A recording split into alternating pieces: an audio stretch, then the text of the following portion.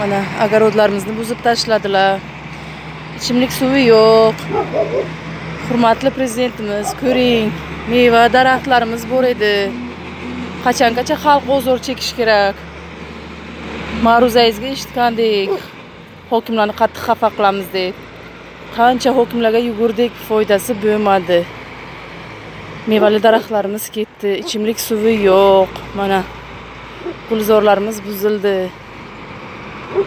Скажи, когда? Давай. Уважаемый Шавкат Мирамонович, у нас нет другой, другого способа обращения для того, чтобы обратить внимание на ту беспредел, который творится у нас в Бухаре, в частном секторе.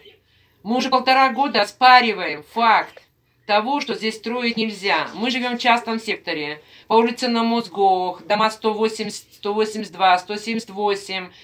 Я не знаю, по каким основаниям, но мы не оспариваем факт решения Хокима о выделении земельных участков на 100, 100 и 200 квадратных метров. Но к этому решению Хокима ни одного дополнительного документа по отводу земли, по праву пользования землей, госрегистрации нет. Проектная документация вся, мы ее откопировали, она вся не соответствует ни одному вашему постановлению. 61, 61, 69, постановление Кабинета министров 370, там куча ваших постановлений, ваших указов, постановлений Кабинета министров. Для чего они все выходят, если они никаким образом на местах не выполняются? Нам котлован отрыли под стенами нашего дома. На участке площадью 5 соток хотят построить три пятиэтажных дома, где мы только уже не были. Начальник областного управления строительства Манана в курсе, в курсе. У нас все есть. Зам Хокима по строительству господин Пулатов в курсе.